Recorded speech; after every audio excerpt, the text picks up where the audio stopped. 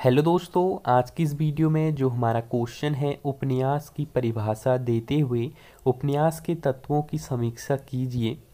तो दोस्तों, ये जो है आपका 2023 का जो क्वेश्चन पेपर है, खंड क का दूसरा क्वेश्चन है। तो ये 19 मार्क्स का क्वेश्चन है तो ये आपके एग्ज़ाम में दोबारा से रिपीट हो सकता है। तो कोशिश कीजिएगा कि जो आंसर मैं आप लोगों को बताऊँ, उसको ध्यानपूर्वक आप लोग सुने। तो चलिए आंसर में हम लिखेंगे कि उपन्यास एक लंबी कल्प कल्पनाशील कथा है, जो अधिकांशतः व्यक्तियों की जीवनी, सामाजिक परिवर्तन और विभिन्न घटनाओं को सामूहिक रूप से प्रस्तुत करती है। उपन्यास की प्रमुख विशेषताएँ इसमें कल्पना सार्थकता, चरित्र विकास और समझदारी का अभ्यास होता है। उपन्यास में रचनात्मकता, अभिव्यक्ति और साहित्यिक सौंदर्य का मेल होता है जो पाठकों को समृद्धि और मनोरंजन प्रदान करता है। फिर इसमें जो है हमारी हेडिंग हो जाएगी प्लॉट कहानी का क्रमबद्ध विकास। ये मेन हेडिंग होगी। इसमें हम जो है फ़र्स्ट हेडिंग डालेंगे, कहानी की रचना। इसमें हम लिखेंगे कि उपन्यास में एक विशेष कहानी रचना होती है, जिसमें संगठन और उत्तरदाता का स्पष्ट निरूपण होता है। फिर सेकंड हेडिंग डालेंगे। मेन हेडिंग होगी चरित्र। किसी भी कहानी में हस्ती या व्यक्ति तो इसमें हम फ़र्स्ट हेडिंग डालेंगे चरित्र विकास।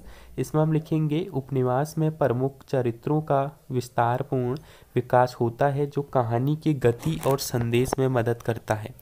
फिर हमारी नेक्स्ट हेडिंग हो जाएगी स्थान। इसमें हम लिखेंगे कहानी का सेटिंग तो इसमें हम फ़र्स्ट हेडिंग डालेंगे विविध स्थान चित्रण।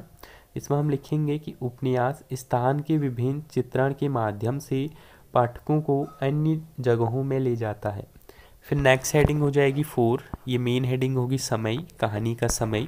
तो इसमें हम लिखेंगे हेडिंग काल गुणन तो इसमें हम लिखेंगे कि उपनिवास का समय सीमित नहीं होता और विभिन्न कालों में घटित होता हो सकता है।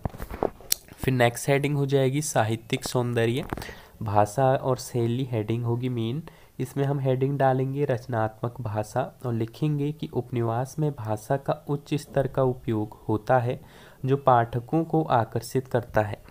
फिर नेक्स्ट हेडिंग हो जाएगी संदेश। कहानी से निकलने वाला सार, ये हेडिंग होगी।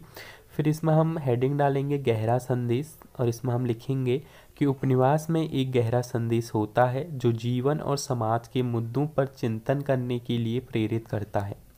इसी में हम आगे लिखेंगे कि उपन्यास के इन तत्वों का संगम साहित्यिक आनंद और आलोचना के लिए एक समृद्धि और उत्कृष्टता का स्रोत प्रदान करता है।